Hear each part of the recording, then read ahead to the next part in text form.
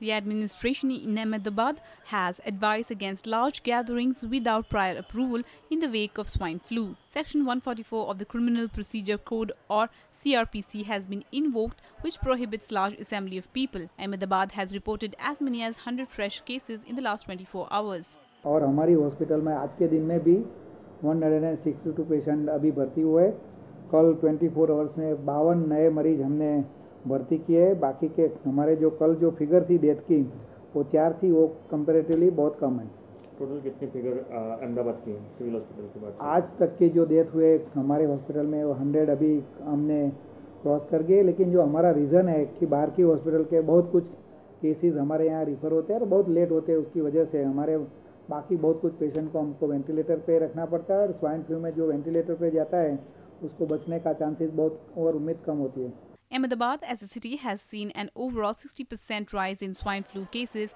in the last one week. Over 1,000 cases have been reported from across Gujarat. The organizers of weddings and funerals have been instructed to ensure distribution of free masks and taking care of sanitation measures. Locals urge masks to be worn at all costs to avoid facing the disease. बस में travel करता है train में travel करता है बहुत दूर दूर से लोग आते हैं तो कोई ऐसे वायरस की बीमारी से बच सकते हैं अपने इसके लिए मास्क पहनना बहुत जरूरी है मैं तो ये बोलता हूँ देश के सब लोग तो मास्क पहने तो बहुत अच्छा है The district administration has also issued advisories to multiplexes and theatres asking them to encourage visitors to use masks. In view of the directives from the government, several city events have been postponed or cancelled. Many schools have also postponed annual day functions. इनको कफ हो रहा है Plus बुखार इनका उतर नहीं रहा है और अनकॉन्शियसली नहीं हो जाती शरीर में बिल्कुल भी ताकत नहीं है। तो आप देख रहे हो उनको वहीं पर ही बिठा के रखा है। प्लस उनको खाना भी नहीं अच्छा लगता। और खांसी है कि वो रुकने का नाम नहीं लेती। अच्छा आम लोगों को आप क्या सलाह देने की ये स्वाइन फ्लू के हिसाब से? आम लोगों को तो यही सलाह दूँगी कि अभी प्रिकॉशंस लेना बहुत ज़रूरी है।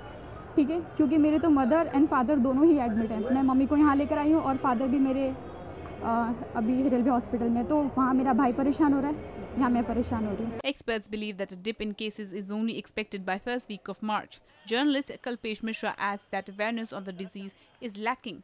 Sir मैं खुद भी स्वाइन फ्लू के ऊपर जो फीचर कर रहा था स्वाइन फ्लू के लिए जो भी है डिटेल से इकट्ठा करना ये सब के लिए बाहर जाना घूमना तो मे भी पॉसिबल उसी वजह से मुझे भी एक इन्फेक्शन हो गया था और प्राइवेट डॉक्टर्स ने भी मुझे बोला कि it is kind of infection तो उसी की वजह से मैं यहाँ आया था। जमीनी हालात क्या है दवाओं के लेके? सर दवाएँ ऐसा है कि दवाएँ पूरी मात्रा में अभी तो इन लोगों के पास अवेलेबल हैं। एंड उन उन लोगों के पास अभी मतलब सारी चीज़ें अवेलेबल तो करवा दी गई हैं बट स्टिल अभी पब्लिक में इतनी अवेयरनेस नहीं है।